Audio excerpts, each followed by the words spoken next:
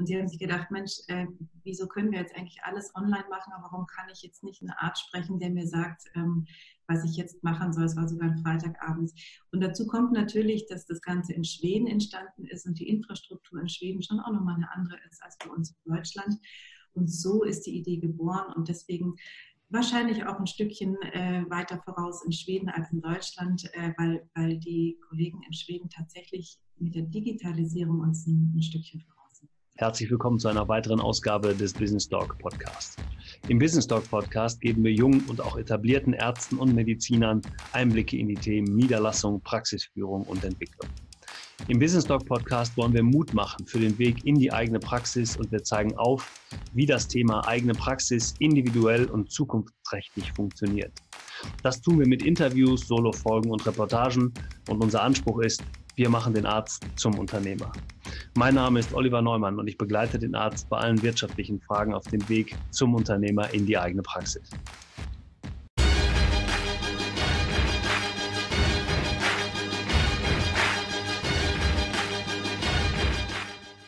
So, herzlich willkommen zu einer weiteren Ausgabe des Business Talk Podcast. Heute habe ich ein besonders spannendes Thema, was mir selber sehr, sehr gut gefällt, was mir sehr stark am Herzen liegt. Und zwar spreche ich heute mit Frau Dr. Monika Gratzke, äh, medizinische Direktorin bei der Firma Krü über das Thema Telemedizin bzw. Videosprechstunde. Also digitale Gesundheit ist heute unser Thema. Ähm, wir sprechen darüber, welche Grenzen Telemedizin ähm, eigentlich haben kann, wie der Einsatz von Telemedizin heute sinnvoll durchgeführt werden kann, welche Entwicklungspotenziale das Thema digitale Gesundheit hat und wo wir sie heute sinnvoll einbinden können und wo wir vielleicht auch zukünftig noch Entwicklungspotenzial sehen. Es ist ein wirklich spannendes Interview geworden. Ähm, eigentlich haben wir beide hinterher überlegt, wir hätten uns auch eigentlich am Küchentisch unterhalten können. So einfach und so spannend war es und die Zeit ist wie im Flug vorbeigegangen. Bevor wir aber ins Interview einsteigen, möchte ich äh, Monika Gratzke noch einmal kurz persönlich vorstellen. Monika Gratzke ist ausgebildete Fachärztin für Anästhesie, Intensivmedizinerin, Notärztin, Schmerztherapeutin mit langjähriger oberärztlicher Tätigkeit an der LMU München. Neben ihrer Tätigkeit bei Krü ist sie weiterhin als praktizierende Ärztin tätig. Also das heißt, sie ist, hat äh, zwei Erfahrungen bringt sie mit, nämlich einmal das Thema digitale Gesundheit, auf der anderen Seite aber auch noch die Erfahrung als Medizinerin. Und das ähm, ist eben für den Anbieter, der jetzt ungefähr seit Mitte letzten Jahres den deutschen Markt hier erobern will, bevor war Krü noch in Frankreich, in Großbritannien und natürlich Schweden, also ganzen Norwegen, die skandinavischen Länder oben schon tätig und bringt die Erfahrung aus den Ländern eben auch mit nach Deutschland. Darüber spreche ich mit Monika Gratzke, mit Frau Dr. Monika Gratzke. Freut euch drauf aus meiner Sicht wirklich wieder ein tolles Interview geworden. Wir hören uns gleich wieder im neuen Business Talk Podcast. Bis gleich.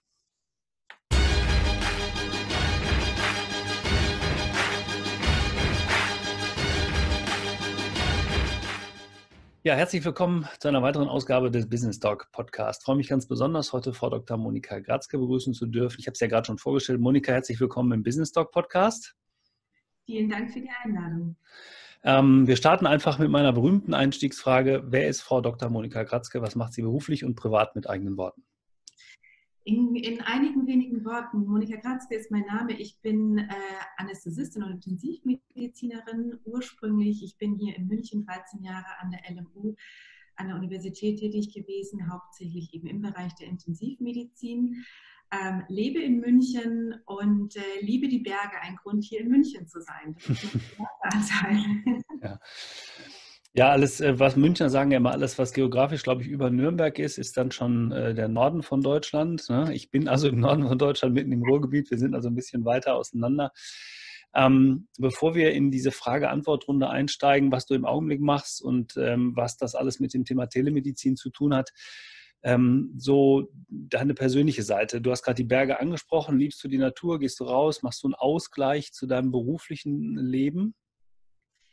Den braucht man als Arzt äh, sehr. Wie gesagt, ich war lange Zeit in der Intensivmedizin tätig und in der Anästhesie. Das sind beides Fächer, die sehr ins Private übergreifen, was Nachtdienste und Wochenenddienste angeht. Und da braucht man dringend einen Ausgleich. Und ähm, als Münchner fragt man sich ja häufig, was machen denn die Menschen im Rest der Republik so an ihren Wochenenden? Und äh, für uns in München sind da die Berge sehr naheliegend. Ich bin ja aufgewachsen und deswegen verbringe ich da tatsächlich den Großteil meiner Zeit und das ist ein wichtiger Ausgleich. Mhm, das ist ja für viele ähm, Ärzte, die auch so ein bisschen unternehmerisch tätig sind. Also unternehmerisch heißt ja nicht immer nur in eigener Praxis oder in anderer Tätigkeit, sondern einfach die selbstverantwortlich aus meiner Sicht arbeiten. Das ist für mich auch schon immer ein großer unternehmerischer Punkt, diesen Ausgleich zu finden zwischen dem beruflichen Alltag und ähm, den so ein bisschen mit ins Private auch rüberzunehmen. Also da einen Ausgleich zu finden, Sport zu treiben, vielleicht mit der Familie schöne Dinge zu tun. Das gelingt natürlich. Ähm, in dem, in dem Umfeld, in einem schönen Umfeld, ähm, häufig ein bisschen einfacher. Ähm, wenn man so ähm, mal so ein bisschen in eure Familie geht, hast du unternehmerische ähm, ja, Vorbilder gehabt? Gab es da irgendjemanden, wo du gesagt hast, mein, mein, mein Vater, mein, meine Mutter, meine Großmutter vielleicht oder irgendjemand, wo du sagst, da habe ich mich so ein bisschen dran orientieren können, was viele Dinge angeht? Oder habt ihr vielleicht eine Arztfamilie? Also ich komme tatsächlich aus einer Arztfamilie. Meine Eltern sind beide niedergelassene Ärzte. Und äh, ich bin damit aufgewachsen mit einer großen Überzeugung für die Medizin, aber auch unternehmerischem Druck, aber auch unternehmerischen Freude. Also beide mit einer eigenen Praxis äh, haben sich sehr auf diese Praxistätigkeit fokussiert neben unserem Familienleben, aber ich bin damit aufgewachsen. Das war immer ein Thema bei uns zu Hause. Auch mein Bruder ist Arzt und äh, ich hatte eine sehr erfolgreiche Tante, die beim Bayerischen Rundfunk Verwaltungsdirektorin war. Daher vielleicht auch sehr der unternehmerische äh, Anteil äh, eines großen Unternehmens. Mhm. Wie hast du das erlebt bei deinen Eltern? Beide niedergelassen in einer Praxis oder unterschiedliche Fachrichtungen? Unterschiedliche Fachrichtungen. Äh, mein Vater ist Urologe, meine Mutter ist Anästhesistin und Allgemeinärztin. Und äh, als in, in der Anästhesie und in der Urologie haben sie sich überschnitten, indem mein Papa operiert hat und meine, meine Mama da die Narkosen gemacht hat. Ansonsten waren sie aber in getrennten Praxen tätig und waren beide sozusagen auf ihren eigenen Standbeinen. Ähm, als Kind hast du in diese medizinischen Bereiche in Anführungsstrichen reinschnuppern können. War das Thema am Küchentisch, das Thema Medizin, oder haben deine Eltern das ganz äh, außen vor gelassen? Das war immer ein Thema bei uns und äh, ich bin wirklich von klein auf damit aufgewachsen. Ich bin das dritte von drei Kindern und meine Mutter hat dann auch ganz pragmatisch, wenn sie auf Hausbesuch gefahren ist, äh, habe ich im Auto gewartet. Ich habe auch schon äh, vor, den, äh, vor den Operationen gewartet, wenn die beiden im OP standen, einfach weil es pragmatisch so sein musste. Ich habe das aber nie äh, als negativ empfunden und für mich war das immer was ganz Normales. Und äh, ja, wahrscheinlich auch deswegen mein, meine große Affinität dazu. Ich empfinde Medizin als was sehr Bereicherndes und, und Schönes. Mhm bereichernd und schön auf der einen Seite, aber du hast es ja gerade gesagt, du hast auch mitbekommen, dass deine Eltern ähm, ein ja, hohes Verantwortungsbewusstsein hatten für ihren Job. Also ähm, auch das ist ja ein schmaler Grad. Ähm, du hast das als sehr angenehm empfunden, beziehungsweise als natürlich empfunden, mit deiner Mutter auf Hausbesuche zu fahren, also vielleicht im Auto zu warten. Aber da ist ja auf der einen Seite die Verantwortung als Mutter, aber die andere Verantwortung eben auch als Ärztin und Medizinerin ich glaube, das ist ja was, was Mediziner einfach prägt, ein hohes Verantwortungsbewusstsein zu haben für ihren Job, aber eben auch für die Familie. Und das ist vielleicht eine ganz gute Überleitung auch zu, dem, zu unserem Thema. Du arbeitest heute nicht mehr als Anästhesistin. Du bringst deine Erfahrungen als Anästhesistin, Intensivmedizinerin, Notärztin, das habe ich ja vorhin schon gesagt, und auch Schmerztherapeutin mit in einen neuen Job. Erzähl uns doch mal ein bisschen was darüber. So ist es, genau. Ich habe äh, nach äh, 13 Jahren Universitätsmedizin den Entschluss gefasst, ich muss was Neues machen, mich interessiert die Welt draußen.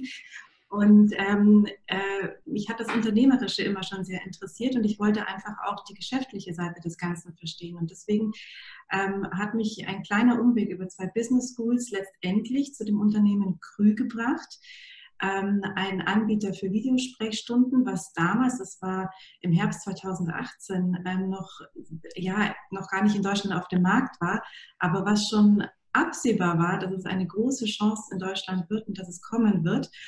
Und äh, über diese unternehmerische Seite bin ich dann letztendlich bei diesem Unternehmen gelandet äh, und bin da jetzt mittlerweile seit über, über einem Jahr und habe das Deutschlandgeschäft hiermit aufgebaut. Mhm ehrt dich sehr, dass du das so klein hältst. Du bist ärztliche Direktorin bei Krü, also du führst ja letztendlich wahrscheinlich auch Mitarbeiter, bist diejenige, die auch in der Öffentlichkeit, so wie jetzt hier bei mir, sitzt und über das Thema Telemedizin spricht. Natürlich auch gerne für deinen Anbieter, was ja absolut in Ordnung ist. Das ist das Schöne hier im Business Talk Podcast. Wir können machen, was wir wollen. Wir dürfen über alles sprechen. Keiner sagt, sag keinen Namen oder sonst etwas. Ganz im Gegenteil. Aber das ist ja wirklich eine, auch wieder eine hohe Verantwortung. Also das Thema Telemedizin, jetzt gerade in, äh, zu Zeiten von Corona, also wenn diese Videoaufnahme läuft, wir sind im September 2020, wir haben die ersten sechs schwierigen Monate oder fünf Monate Corona-Zeit hinter uns. Wir haben alle erlebt, dass das Thema Telemedizin plötzlich eine ganz andere Bedeutung hatte als vielleicht noch im Januar diesen Jahres. Ähm, kannst du so ein bisschen mal erzählen, A, was macht Krü und vielleicht auch, wie seid ihr durch die letzten fünf Monate gekommen? Mhm. Äh, Krü ist, ähm, wie gesagt, ein Anbieter für Videosprechstunden. Das ist ein, ein schwedisches Unternehmen, deswegen auch der vielleicht ein bisschen schwierige Name Krü. Äh, man, man, schreibt es anders, als man es ausspricht. Ich sage ganz kurz dazu, es ist ein schwedischer Ausdruck, das ist kein Kunstname, sondern der schwedische Ausdruck für Wohlergehen, es soll dir gut gehen, daher der Name. Und, äh, also Krü heißt, ich habe das auch gelesen auf eurer Internetseite, eine Krü, also K-R-Y geschrieben, richtig? Ja, genau. Gesprochen K-R-Ü, also um, um, Umlaut, Krü heißt gesund, munter und fit. Ja. Und richtig? Und ja. Krühe heißt dann gute Besserung. Das fand ich sehr, sehr schön, ja. So ist es, daher der Name. Und äh, äh, das Entstehungsland äh, Schweden, wo der Name eben auch herkommt. Äh, Schweden ist in der Digitalisierung einiges uns voraus und dieses Unternehmen wurde vor sechs Jahren gegründet. E eben unter dem, mit der Idee des Gründers, wir müssen den Zugang zu ärztlicher Versorgung einfacher machen. Wahrscheinlich auch in Schweden aufgrund der geografischen Verteilung ähm, kam die Idee etwas früher als bei uns. Und ähm, da wurde das Geschäft gegründet und das wurde dann über fünf Märkte weitergetragen, mittlerweile eben jetzt seit Dezember 2019 in Deutschland. Und wir bieten Videosprechstunde an. Deutschlandweit bringen wir Patienten und Ärzte zusammen, um eine Sprechstunde online mit Video und äh, Sprache durchführen zu können. Mhm. Ähm, das Thema Videosprechstunde, wir haben das vorhin im kurzen Vorgespräch schon gesagt, ist nicht für alle so, ganz besonders für Mediziner, nicht immer so einfach zugänglich, also verständlich. Wir haben uns beide die Frage gestellt, ähm, was, was passiert da noch? Warum, wo ist, die, wo ist das Problem auch der Mediziner dabei? Da kommen wir vielleicht ein bisschen später nochmal drauf. Ähm, möchte noch mal ein bisschen tiefer reingehen, ähm, was Krü tatsächlich macht. Also Videosprechstunde anbieten heißt, ähm, ich habe als Arzt oder andersrum, ich habe als Patient die Möglichkeit, mir einen Arzt zu suchen. Ich glaube, Krü ist eine App, ähm, wo ich relativ leicht und einfach als Patient hm, ich sag mal, eine Beschwerde eingeben kann oder bestimmen kann. Also ich melde mich an, bestimme eine Beschwerde und sage, jetzt suche ich einen Arzt und dann werde ich mit irgendeinem Arzt verbunden. Ist das mein Arzt oder ist das ein Arzt, der für euch, für Krü arbeitet? Das sind Ärzte, die mit uns zusammenarbeiten. Mhm. Also wir arbeiten mit deutschlandweiten Ärzten, mit deutscher Approbation zusammen, die auch alle einen Kassensitz haben. Mhm. Das heißt, ähm, das ist nicht notwendigerweise der Arzt, bei dem man auch als Hausarzt zum Hausarzt geht, sondern das sind Ärzte, die mit uns zusammenarbeiten, die sozusagen in Anführungsstrichen gerade Dienst haben bei uns. Und äh, der Patient spricht den Arzt, der gerade äh, mit uns zusammenarbeitet und mit im Dienst für Grüß. Mhm. Das heißt, es sind ähm, Ärzte, die bei euch in der Kooperation, nenne ich es jetzt mal, sind, die gesagt haben, ja, ich möchte gern Krü in Anführungsstrichen Arzt werden. Ähm, die sind, äh, sind approbierte Ärzte, sind Fachärzte, die entweder in eigener Praxis, ja müssen ja dann in eigener Praxis sind und arbeiten und dann sagen, ich stehe als Video-Sprechstundenarzt Krü zur Verfügung, richtig? So ist es, genau. Wir sind äh, ursprünglich mit Kollegen aus der Allgemeinmedizin und hausärztlich-internistischen äh, Kollegen an den Start gegangen. Mittlerweile sind auch die Kollegen aus der Pädiatrie, also Kinderärzte, dazugekommen und das wird auch in Zukunft weiter ausgeweitet werden. Das heißt, äh, der Arzt, den man spricht, das ist immer ein Facharzt und das ist auch immer ein Arzt, der in der physischen Behandlung der Patienten auch noch tätig ist. Also wir haben keine reinen Online-Ärzte und darauf mhm. legen wir auch Wert, damit man nicht diesen Tunnelblick bekommt, dass man mhm. nur noch das Video kennt, sondern dass man auch am Patienten selber noch ist. Mhm. Kann ich denn als ähm, Krüarzt auch meine eigenen Patienten einladen? Kann ich sagen, hier, ich bin jetzt hier auf der Videosprechstundenseite und könnt, ihr könnt mich auch buchen oder geht das in Anführungsstrichen nur über diese Suchfunktion? Im Moment geht es über die Suchfunktion. Man kann natürlich, wenn man mit uns zusammenarbeitet, arbeitet, seinem, seinem Patienten sagen, da bin ich sozusagen im Dienst für Krü, da könnt ihr mich auch erreichen. Mhm. Umgekehrt ähm, ist das im Moment noch nicht so, dass man seinen Arzt auch auf der Plattform findet. Das ist sicherlich ein Projekt für die Zukunft, aber im Moment ist es so, dass man einfach, um die schnellstmögliche Versorgung zu bekommen, auch den Arzt bekommt, der am schnellstmöglichen verfügbar ist. Mhm.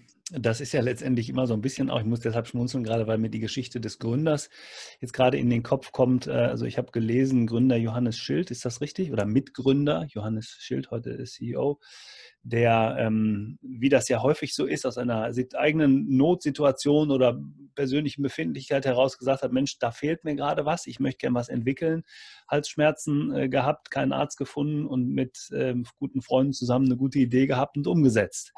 Ähm, und dann ist Krü entstanden, so habe ich es jetzt gelesen, ich weiß jetzt nicht, ob es stimmt, aber daraus natürlich auch klar die Intention zu sagen, ich möchte schnell eine fachärztliche Meinung haben oder ich möchte schnell einen Rat haben und dann ähm, letztendlich einen Arzt sprechen, der mir helfen kann. Ist, kann man das ungefähr so sagen?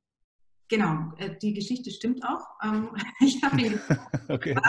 Äh, es ging ihm wirklich nicht gut und er saß äh, zu dem Zeitpunkt mit einem Freund zusammen und die haben sich, es war abends und die haben sich gedacht, Mensch, wieso können wir jetzt eigentlich alles online machen, aber warum kann ich jetzt nicht einen Arzt sprechen, der mir sagt, ähm, was ich jetzt machen soll. Es war sogar ein Freitagabend. Und dazu kommt natürlich, dass das Ganze in Schweden entstanden ist und die Infrastruktur in Schweden schon auch nochmal eine andere ist als bei uns in Deutschland. Und so ist die Idee geboren und deswegen wahrscheinlich auch ein Stückchen äh, weiter voraus in Schweden als in Deutschland, äh, weil, weil die Kollegen in Schweden tatsächlich mit der Digitalisierung uns ein, ein Stückchen voraus jetzt könnten wir das Thema Corona und Schweden noch ansprechen, machen wir aber nicht, ähm, weil das noch wieder eine ganz andere, ganz andere, ganz anderes Thema ist. Aber das ist ja wirklich äh, spannend. Also ich glaube, dass ähm, ähm, das Thema Telemedizin ja deshalb so interessant ist, weil wir gerade jetzt in der Corona-Zeit mitbekommen haben, wie wichtig es ist, dass wir nicht in volle Arztpraxen gehen und das Thema Risiko oder Infizierung und so weiter noch weiter voranbringen. Gerade vielleicht, wenn es uns nicht gut geht, dann möchten wir trotzdem eine, ärztliche Meinung haben und die möchten wir meist auch schnell. Ähm, ähm, kannst du vielleicht mal einfach beschreiben, wie das abläuft bei euch? Also ich bin jetzt, Patientenseite haben wir geklärt, zumindest zum großen Teil, aber wenn ich jetzt Arzt bin und ich sage, ich möchte gern ähm, Früharzt werden, was muss ich tun, was, welche Voraussetzungen habe ich und wie würde das ablaufen?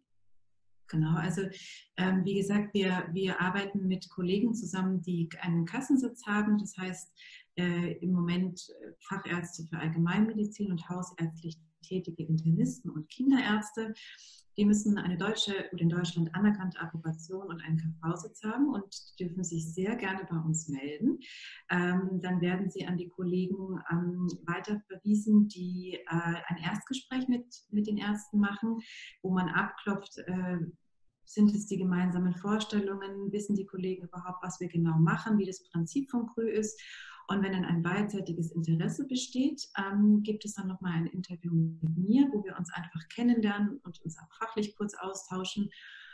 Und dann kommt es zum sogenannten Onboarding-Prozess, äh, wenn wir alle Unterlagen haben, wo ein sehr detaillierter äh, Prozess angestoßen wird, wo es auch in einer Einweisung in die technischen Systeme gibt, in das in, in unsere technischen Vorgänge sozusagen, damit es dann auch alles gut klappt. Und es ist sehr individuell, wie, wie viel Zeit uns die ärztlichen Kollegen zur Verfügung stellen können. Das hängt natürlich auch immens von der eigenen Praxis ab. Äh, und dann gibt es eine Arztdienstplan sozusagen, in dem man sich dann einträgt und mit uns zusammenarbeitet. Mhm. Also die, die, die Feinheiten ähm, klärt er dann immer noch sehr persönlich in einem persönlichen Gespräch. Ich kann mir vorstellen, dass es ja auch gewisse Timeslots geben wird, wo ein Arzt sagt, da habe ich in Anführungsstrichen Zeit für das Thema. Ähm, gerade in der eigenen Praxis tätige Ärzte sind ja nicht unbedingt, gerade in Deutschland auch nicht äh, unterbelastet, also in, in vielen Bereichen. Ähm, wie sieht das denn in den, in den Gebieten aus, die ähm, eigentlich unterversorgt sind? Das ist ja etwas, wo das Thema Telemedizin zumindest aus meiner Sicht auch sehr, sehr stark eingesetzt werden kann. Also für Patienten, die jetzt Ärzte suchen, wo kein Arzt in der Nähe ist. Ich glaube, da habt ihr natürlich nochmal wirklich äh, viel zu bieten, weil wir, weil ihr genau da eben, weil es da nicht drauf ankommt, den, den Arzt, den Hausarzt, den Facharzt vor Ort haben zu müssen, sondern eben die unterversorgten Gebiete eben über das Thema Telemedizin schnell, einfach und sicher zu erreichen. Mhm. Das ist, das ist die eine Seite. Auf der anderen Seite beobachten wir durchaus, dass ähm, allen voran in den großen Städten das Angebot sehr gerne wahrgenommen wird. Mhm. Ähm, also es zeigt sich deutlich, dass auch in Städten wie Berlin, München, Hamburg ähm, offensichtlich die Wartezeit bei den Kollegen in den Praxen auch länger ist. Also wir hatten mhm. auch Anfang erwartet, dass es eher der ländliche Bereich ist, aber nicht so. Es sind durchaus auch die Städte, ähm, wo offensichtlich der Bedarf sehr groß ist. Mhm. Ja, ist wieder interessant. Ne? Eigentlich, ich hätte jetzt genau auch gedacht, Mensch, gerade die Auslastung innerhalb der, der Städte ist eben gegeben. Also da sind genug Patienten, aber dass dann Mediziner eben auch vielleicht gerade im fachärztlichen Bereich eben äh, auch noch die Möglichkeit haben, sich da äh, zu Patienten oder neue Patienten äh, zu akquirieren, in Anführungsstrichen. Denn für den Arzt ist es ja durchaus lukrativ, Telemedizin zu machen. Das wissen ja viele Ärzte nicht. Ne? Also neben dem, dass ich vielleicht auch noch, kriege eine Förderung auch von der, von der gesetzlichen Seite aus sogar, ich muss eine gewisse Anzahl von Videosprechstunden machen. Aber es kann ja durchaus auch ein Teil meiner Einnahmen sein, wenn ich das gut strukturiert und vielleicht geplant auch angehe. Würdest du das auch so sehen? Absolut. Also es ist ähm, äh, im Moment stark gefördert. Ähm, es ist politisch auch gewollt, dass das Telemedizin, das Videosprechstunden Eingang in die ärztlichen Praxen halten.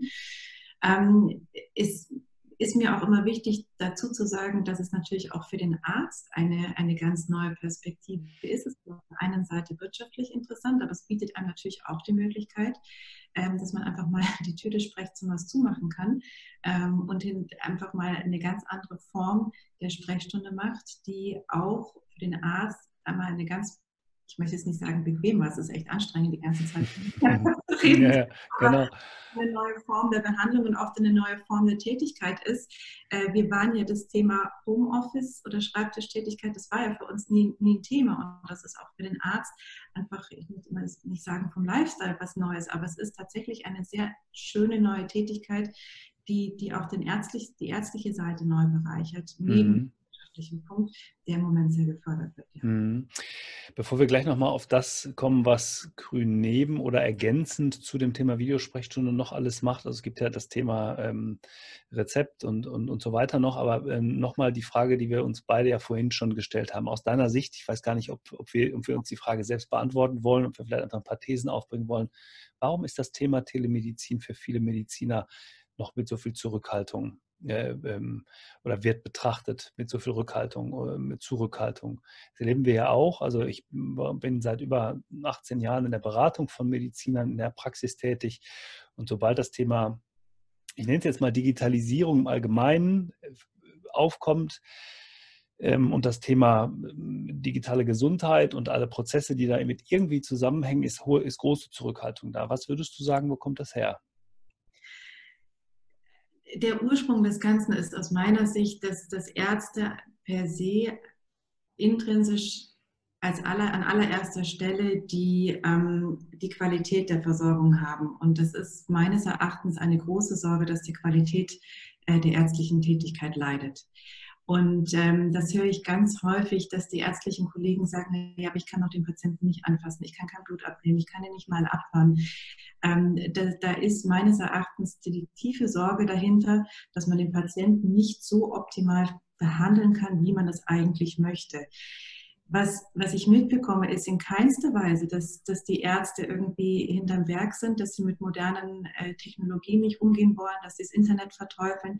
Das ist nicht so. Wenn man realistisch ist, hat ja jeder Hausarzt oder auch äh, andere Facharztgruppen auch in der letzten Zeit schon mit den Patienten digital kommuniziert. Die meisten haben jetzt schon, man darf so sagen, WhatsApp und, äh, und SMS eingesetzt. Also das sind, das sind es ist nicht so, dass die Ärzte per se sagen, der Patient muss unmittelbar vor mir sitzen.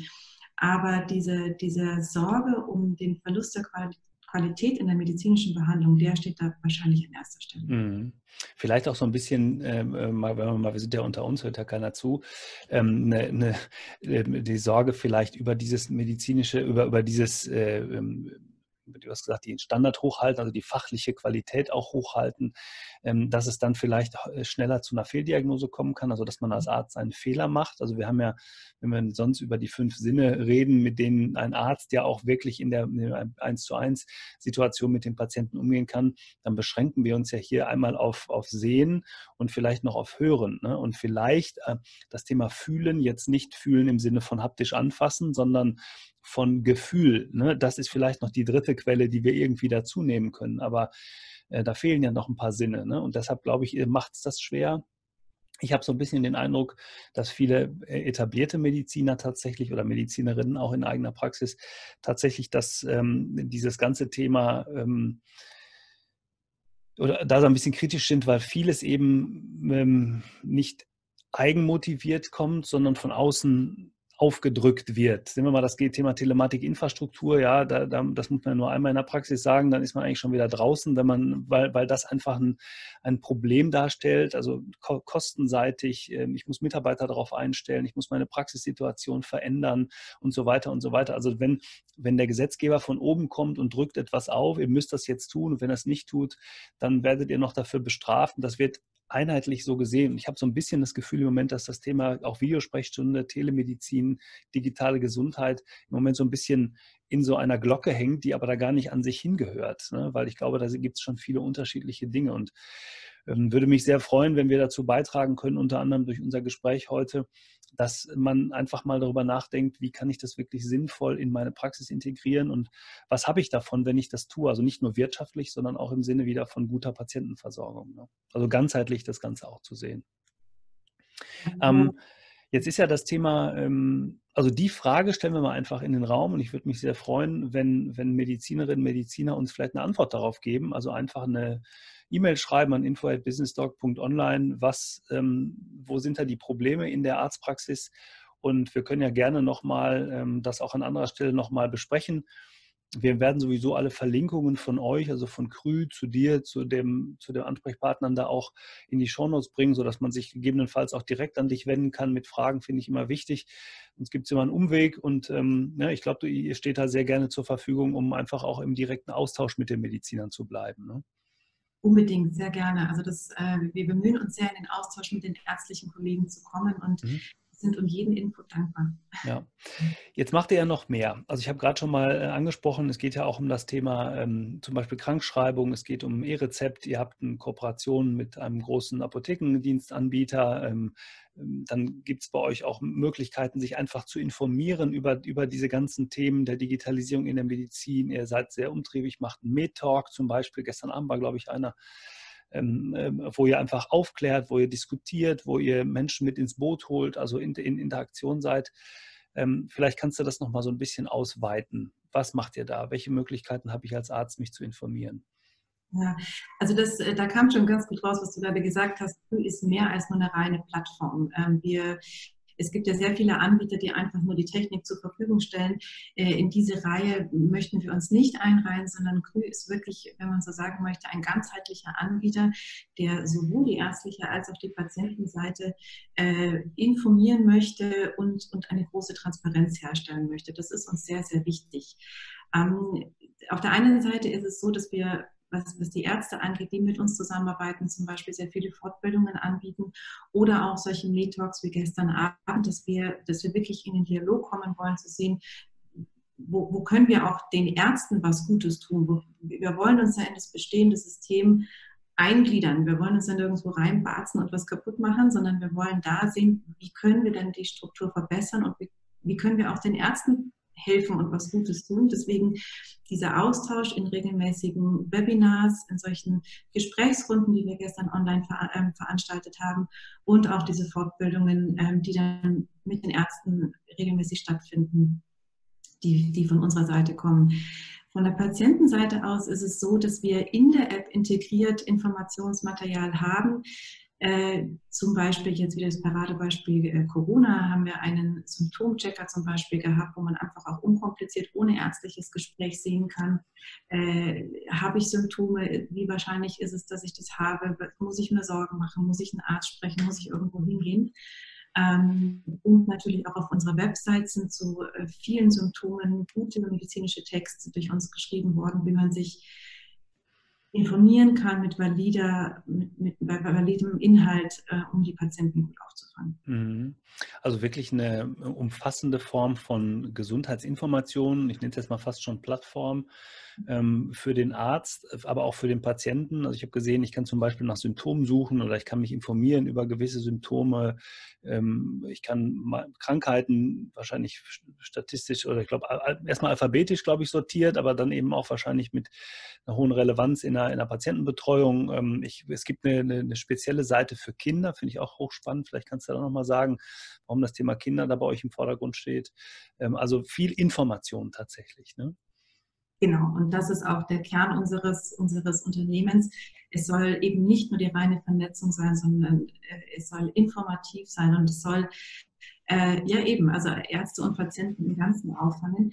Äh, ein Wort vielleicht noch zu den Kindern. Das ist auch eine, eine Erfahrung, die wir aus den anderen Märkten haben. Und da profitieren wir als Unternehmen eben wahnsinnig, dass wir jetzt schon sozusagen als globales Unternehmen im sechsten Jahr unserer, äh, unserer Erfahrung sind für Eltern mit Kindern ist es ein ungemeiner Zugewinn, ähm, wenn man gerade zum Beispiel, wenn man jetzt mehrere Kinder hat, nicht äh, das Haus oder die Wohnung verlassen muss, um einen Arzt zu sprechen. Und da haben wir einen großen Vorteil für die Patienten und Eltern gesehen. Deswegen haben wir auch da einen starken Fokus drauf gelegt, dass auch äh, wir Kinderärzte an Bord haben und dass die Kinder auch sozusagen in einer ganz eigenen Schiene von Anfang an kommen und gesondert und, und gut qualitativ äh, versorgt werden. Mhm, das ist ein sehr, sehr schönes Thema, geht uns ja irgendwie alle an. Also sobald Kinder im Spiel sind, glaube ich, äh, wissen wir, wie wichtig diese, äh, diese Information und auch die Möglichkeit ist, schnell Rat ähm, mit, mit Rat und Tat zur Seite zu stehen, wenn man das dann haben möchte.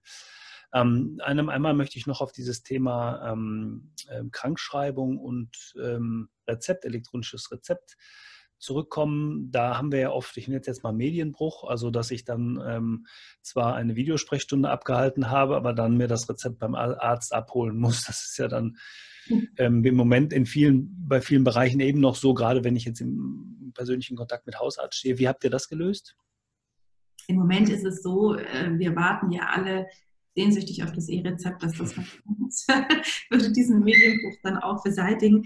Äh, Im Moment ist es tatsächlich so, dass wir Privatrezepte ausschreiben. Mhm. Ähm, äh, man muss natürlich sagen, dass bei solchen akuten Erkrankungen, wie wir sie großteils im Moment in der Sprechstunde haben, viele Rezepte ohnehin äh, privat zu zahlen sind. Insofern ist das jetzt oftmals nicht das Problem, aber grundsätzlich ist es natürlich schon eine Stelle, wo uns der Schuh drückt, ne? wo wir mhm. natürlich einen Kassenpatienten auch in der gesamten Versorgung mit dem Kassenrezept versorgen können. Äh, und dafür ist das E-Rezept notwendig. Ja, genau. Also das liegt nicht an euch, das ist nochmal mhm. ganz klar sagen, sondern da müssen wir noch auf den Gesetzgeber warten, der das äh, ähm, freigibt, ne? der, der die, die gesetzlichen Regelungen dazu schafft, ganz genau. Ähm, ja, ähm, die, das Thema Digital Health, digitale Gesundheit, Telemedizin, ähm, das ist ja ein Thema, was im Grunde gerade erst in den Startlöchern steht. Ich habe schon gesagt, äh, Corona hat sicherlich einen Großteil dazu beigetragen, dass wir wir in der Bevölkerung, aber auch die Ärzte und Ärztinnen dahinter ähm, ein bisschen offener geworden sind. Was kann Telemedizin aus deiner Sicht noch? Also wo geht es dahin? Also ich nehme mal, wir spinnen jetzt mal ein bisschen in die Zukunft. Ähm, glaubst du, dass es auch dazu beitragen kann, in der sektorenübergreifenden Versorgung eine große Rolle zu spielen? Absolut. Also das ist natürlich das Ziel, was, was wir als Ärzte irgendwo auch vor, Augen haben. Es erlaubt uns eine Vernetzung ähm, und eine konsiliarische Tätigkeit zwischen den Fachgruppen äh, und auch geografisch übergreifend, die für alle Beteiligten eine Riesenchance ist. Ähm, man sieht es ja auch schon in verschiedenen Fachrichtungen jetzt schon. Also es ist ja häufig so, dass der Radiologe schon ganz woanders sitzt, als der Patient und, und der radiologische Assistent eigentlich ist. Also das ist ja schon sozusagen im Aufbau. Und diese Vernetzung zwischen Fachgruppen und auch zwischen ambulanten und stationären Sektor ist eine unglaubliche Chance, die, die, die Versorgung effizienter und, und äh, ja, optimaler zu machen. Mhm. Ich glaube eben auch gerade die Möglichkeit, sektorenübergreifend in den Gebieten arbeiten zu können, wo es, äh, wo es eine Unterversorgung gibt, jetzt gerade wieder Thema Medizin oder wo es dann noch wirklich fachspezifischer ähm, wird, dann glaube ich, ist das, spielt das ein großes Thema und ich glaube, da kann die, das Thema digitale Gesundheit eine große Rolle spielen, gerade bei diesen Themen, ähm, die dann bezogen jetzt sagen wir mal auf einfache Dinge, Diabeteskontrollen, Blutuntersuchungen und so weiter und so weiter, sicherlich ähm, äh, Fach, mit, mit Fachkliniken, vielleicht auch sogar Universitätskliniken einfacher, besser, qualitativ hochwertiger laufen kann. Ähm, ich glaube, dass da natürlich auch eine Vernetzung flächendeckend über digitale Themen oder auch einfach äh, über digitale Prozesse notwendig wird. Aber das ist sicherlich Zukunftsmusik. Trotzdem ist es ein hochspannendes Thema. Ich glaube dann, weil das der Arzt tatsächlich, und das ist ja immer wichtig, das habt ihr auch auf eurer Seite und das habe ich auch in einem anderen Interview, was ich jetzt in Vorbereitung hier auf unser Interview mir heute angeschaut habe, wo du gesagt hast, äh, es gibt auch Grenzen der Telemedizin und der Arzt wird nie ersetzt, sondern das, das Portfolio, nenne ich mal, des Arztes wird ergänzt, ähm, damit wir insgesamt zu einer besseren und hochwertigen Patientenversorgung weiterkommen und auch beitragen wollen. Du hast das gerade ja schon gesagt, die Ärzte sind ja daran interessiert, dass es dem Patienten gut geht und dass der Standard, den wir jetzt haben, eben auch weiter hochgehalten wird. Ich glaube, das dürfen wir auch ruhig erkennen und darf man auch sagen, dass es auch da in der Telemedizin eben ein paar Grenzen gibt. Und eigentlich muss sich der Arzt keine Sorgen machen. An anderer Stelle habe ich mal gesagt, es müssen sich nur die Ärzte Sorgen machen, die sich tatsächlich mit diesem Thema nicht beschäftigen, weil irgendwann wird es Teil des Ganzen sein. Ähm, Jetzt habt ihr ähm, sehr viel Erfahrung mit dem Thema, ähm, also Krü, sehr viel Erfahrung. Ihr, kommt aus Schweden, ihr seid, glaube ich, in England schon. Seid, wo, wo seid ihr noch überall unterwegs gewesen in den letzten Jahren? Äh, in Schweden kam Norwegen, England, Frankreich äh, und ja, also ihr konntet viele Erfahrungen sammeln und mit diesen Erfahrungen jetzt den, den Markt in Deutschland auch angehen. Ähm, äh, Gibt es eine Zukunftsaussicht für Krü, wo du sagst, da wollen wir noch hin, das ist eine Vision? Die Vision ist natürlich, noch mehr Patienten und noch mehr Ärzte zu erreichen. Ähm, wir sind äh, zwar in verschiedenen Märkten äh, tätig, man muss aber ganz klar sagen, Gesundheit und das Gesundheitssystem ist schon ein nationales Thema und wir kümmern uns von Berlin aus um Deutschland. Also wir mhm. kümmern uns nicht in erster Linie um, um Schweden.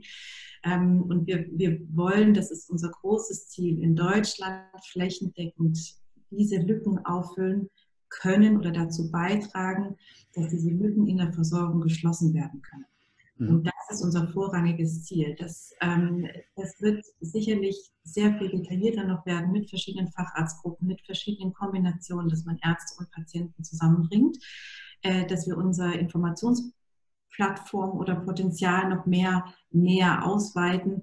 Aber im Moment fokussieren wir uns tatsächlich auf die unmittelbare Patientenversorgung zwischen Arzt und Patient. Mhm.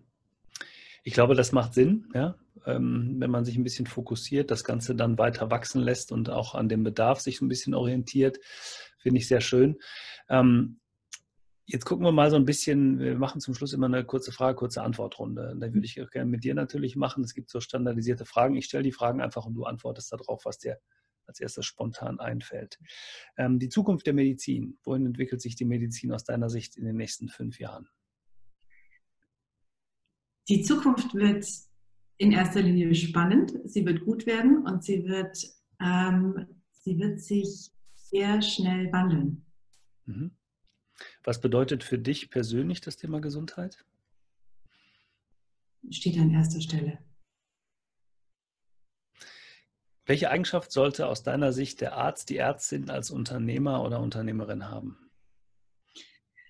Offen sein für Neues, äh, offen und flexibel und äh, aber auf das aufbauen, was man mindestens elf Jahre gelernt hat.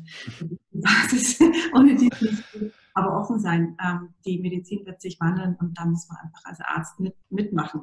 Mhm, absolut, ja, genau. Also ich sage sogar immer, es dauert 12 bis 14 Jahre, je nach Facharztausbildung. Ne? Also kommt ja noch ein bisschen darauf an, wie, wie viel Zeit ich habe. Aber du hast recht, ja, ja, eine ganze Zeit. Ist auch gerade dieses Thema finde ich so, so spannend, wenn ich kurz da rein darf, weil das, da fehlen eben die unternehmerischen Skills immer wieder. Ne? Also dass, dass ähm, der, der Mediziner, äh, Medizinerin eben nichts lernt über das Thema, wie gehe ich in die eigene Praxis. Und wenn ich nach, wenn ich Fachärztin bin, wenn ich Facharzt bin und dann eine Entscheidung treffen muss, bleibe ich im Krankenhaus, dann kommt meist die Frage auf, Gut, da komme ich dann ins Spiel, aber ähm, was mache ich denn jetzt? Wie geht denn das Praxis? Ne? Und das finde ich, ähm, da können wir schon vorher was machen. Tun wir aber jetzt gerade, also ganz anderes Thema.